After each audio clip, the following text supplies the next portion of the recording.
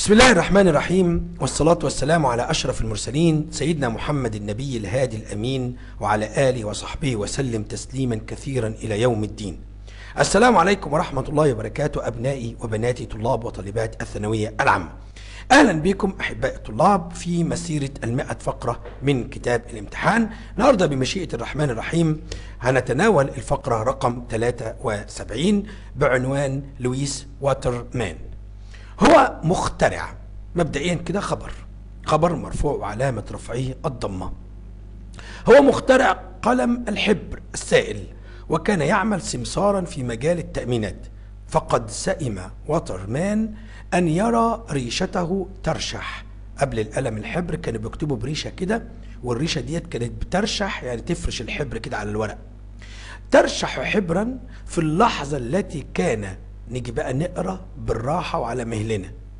كان يقدم فيها أحد الزبائن على التوقيع؟ ولا يقدم فيها أحد الزبائن على التوقيع؟ ولا يقدم فيها أحد الزبائن على التوقيع؟ دي بتعلمنا إزاي نقرا بالعقل مش بالشكل. يعني ناس كتير مش هيقدم مش هيكمل الجملة ملوش دعوة بالجملة. ناس كتيرة هيقول يقدم فيها أحد الزبائن. يعني لويس واترمان بيقدم أحد الزبائن. فالريشه رشحت منه. لا هي المعنى مش كده خالص. ينفع المعنى يمشي. كان يقدم فيها أحد الزبائن على التوقيع عقد على توقيع عقد التأمين. يعني إيه يقدم فيها أحد الزبائن على توقيع عقد التأمين؟ لو كانت يقدم فيها أحد الزبائن كنا نقول يقدم فيها أحد الزبائن إلى الناس مثلا. يعني يقدموا للناس يعرفوا بالناس. اذا هي مش يقدم. طب يقدم يقدم بمعنى يعني من القدم قديم يعني. طب ما تمشيش برضو المعنى. آه التي كان يقدم فيها أحد الزبائن على توقيع عقد التأمين. يقدم فيها أحد الزبائن. يبقى هنا أحد فاعل مرفوع وعلامة رفعه الضمة لأن الراجل ده هو اللي بيقدم. كلمة أحد هنا هي اللي بتقدم على توقيع عقد التأمين. عارف لو قريتها يقدم فيها أحد زبائن هتعربها مفعول به زي ما بعض الناس أعربتها مفعول به تقول آه عندك حق يا أستاذ. لا أنا عايزك أنت اللي تبقى عندك حق وأنت اللي تقرأ القطعة ونتعود يا جماعة بالعقل نفهم القطعة. بلاش الاستعجال بلاش الكسل الفكري إن إحنا تعودنا نجاوب من دون ما نفهم القطعة وكأنها ألفاظ مرصوصة. فننتبه لهذه المهارات والحمد لله إن إحنا بنتعلم هنا مش بنتعلم في اللجنة. يعني هنا بنغلط ونصحح لكن لو كان في لجنة الامتحان يبقى يا رحمن يا رحيم على الدرجة. كبر أربعا على الدرجة. بعد كده بيقول لي وبعدما تعرض لخطر خسارة بعض العقود بسبب الريشة والمحبرة ولطخات الحبر على أوراق العقد فكر في إيجاد طريقة جيدة تنظم تدفق الحبر.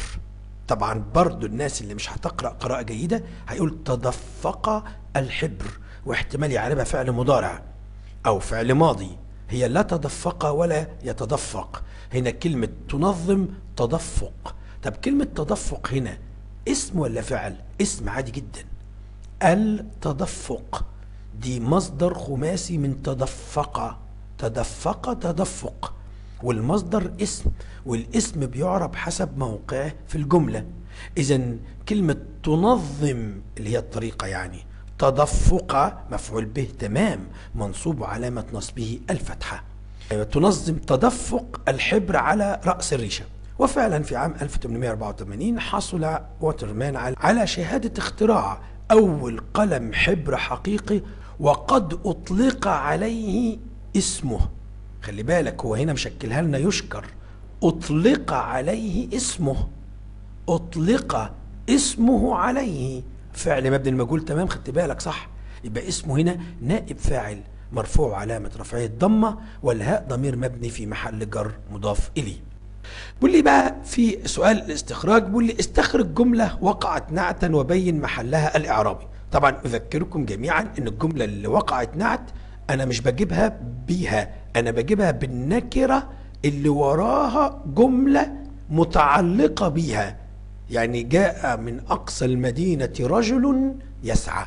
هي كلمة رجل نكرة جه بعدها يسعى ويسعى ده فعل مضارع والفاعل مستتر يعني جملة وبالتالي الجملة دي تبقى نعت.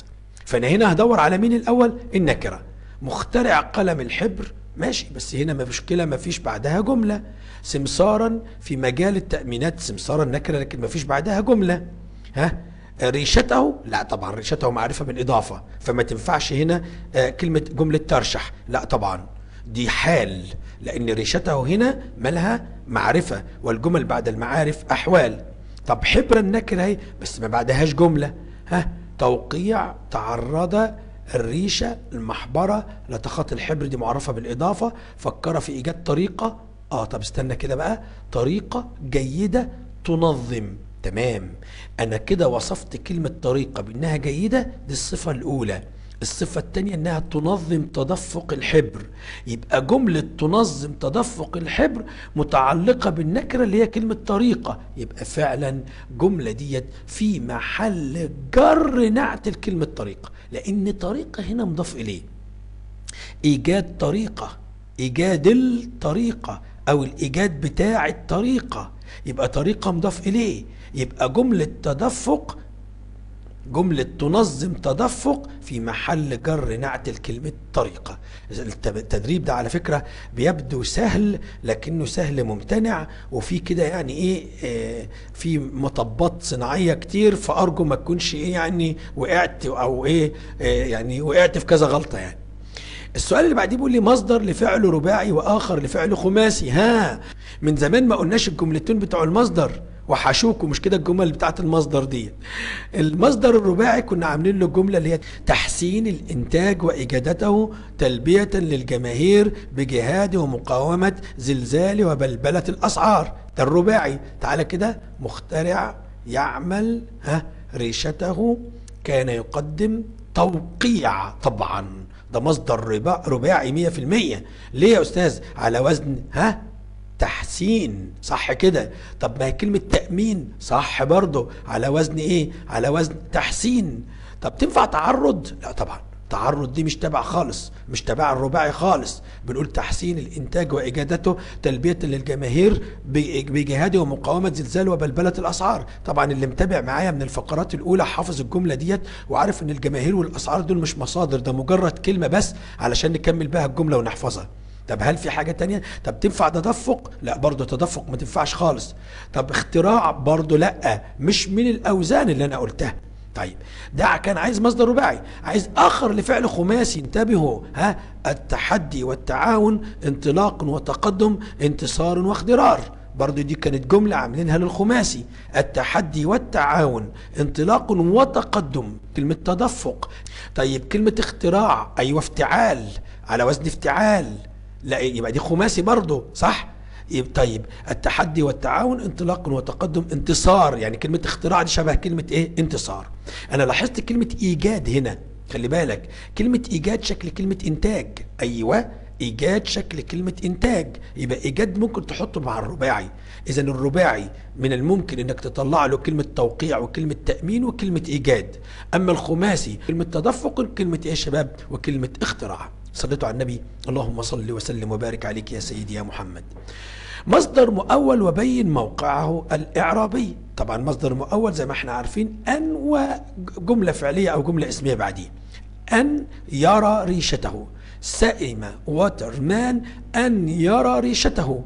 يبقى سئم وترمان رؤية ريشته. مش كده؟ يبقى رؤية مفعول به لأن سئم فعل ماضي وترمان اللي هو الفاعل ورؤية هنا هتبقى إيه يا شباب مفعول به لأن بحوله الجملة كلمة واحدة فأقول في محل نصب مفعول به. اسم فاعل من فعل غير ثلاثي يعني لازم يبدأ بمن مضمومة أهو على الباب أهو مخترع. من مضمومة مكسور ما قبل الآخر. السؤال اللي بعديه بيقول لي تعجب من اختراع القلم. والله ليك طريقتين بقى. إنك تقول مثلا ما أعظم اختراع القلم مش كده؟ أو أعظم باختراع القلم. لو سمحت ما تخلطش ما بين الأساليب ما لقيتش بقى تقول لي حبذا اختراع القلم. لا يا جماعة ده بيقول لك تعجب مش امدح. فما تخلطش ما بين الأساليب. هو الراجل ما طلبش هنا أكتر من إنك أنت تقول ما أعظم اختراع القلم. وأفكركم بإعراب التعجب سريعا ما تعجبية في محل رفع مبتدأ. أعظم فعل ماضي مبني على الفتح والفاعل مستتر والجملة من الفعل والفاعل في محل رفع خبر والمتعجب منه يعرب مفعول به مع ما أفعل يعرب مفعول به منصوب بالفتحة والقلم هتبقى مضاف إليه.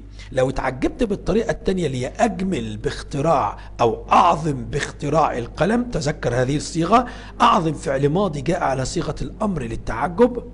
والباء حرف جر زائد واختراع فاعل مجرور لفظا مرفوع محلا وهتبقى القلم مضاف إيه شباب؟ مضاف إليه. السؤال ده بيقول لي مررت بتلاميذ مررت بتلامذة اضبط ما تحته خط مبينا سبب الضبط. طبعا الأولى هتبقى مجرور بالفتحة لأنها صيغة منتهى الجموع ممنوع من الصرف. دي صيغة منتهى الجموع لأنها جمع تكسير به ألف ليتلاميذ وبعدها ثلاث حروف وسطهم ساكن.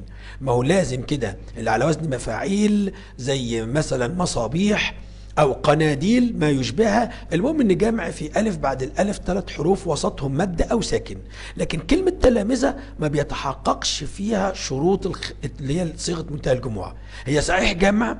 هي صحيح جمع وفيها ألف لكن بعد الألف الثلاث حروف وسطهم مش ساكن اللي هي كلمة ذال ديت هنا اللي وصل الحرف الوسطاني هنا ذال وبالتالي ديت ما تبقاش ممنوعة من الصرف تبقى مجرورة بالكسر عادي. لكن هنا هتبقى تلاميذ توفرت فيها شروط صيغة منتهى الجموع وجرت تبقى تجر بالايه يا شباب؟ بالفتحة. في أي مادة؟ السؤال الأخير بقى هاء. في أي مادة تكشف في معجمك عن كلمة شهادة؟ أكشف عنها في شهد باب الشين فصل الهاء ثم الدال. اللهم إنا نشهدك ونشهد حملة عرشك وملائكتك وجميع خلقك أن نشهد أن لا إله إلا أنت وأن محمدا صلى الله عليه وسلم نبيك ورسولك. كده الفقرة الثالثة والسبعين تمت بحمد الله. أستودعكم الله الذي لا تضيع ودائعه. والسلام عليكم ورحمة الله وبركاته.